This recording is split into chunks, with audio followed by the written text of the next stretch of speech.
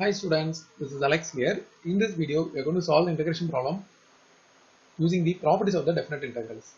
So let's take this as i.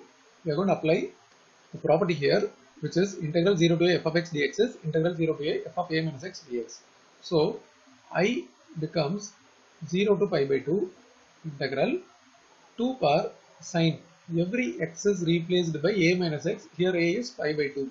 So every x is replaced with pi by 2 minus x. So 2 power sine pi by 2 minus x plus 2 power cos pi by 2 minus x dx.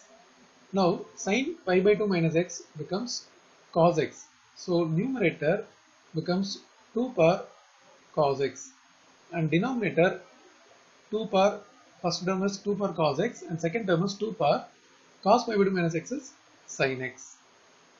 Now let's take this expression question as 1 and this as 2.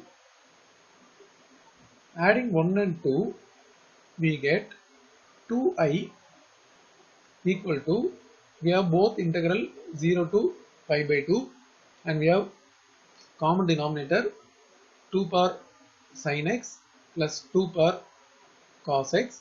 In the numerator we have 2 power sin x in 1 and 2 power cos x in 2. So we combined both the numerator. Then we can able to cancel both the terms 2 power sin x plus 2 power cos x both numerator and denominator we cancel. Now integral dx is x and we have the limit 0 to pi by 2 2i equal to.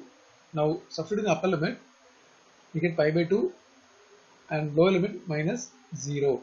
So 2i equal to pi by 2 from this i is pi by 4.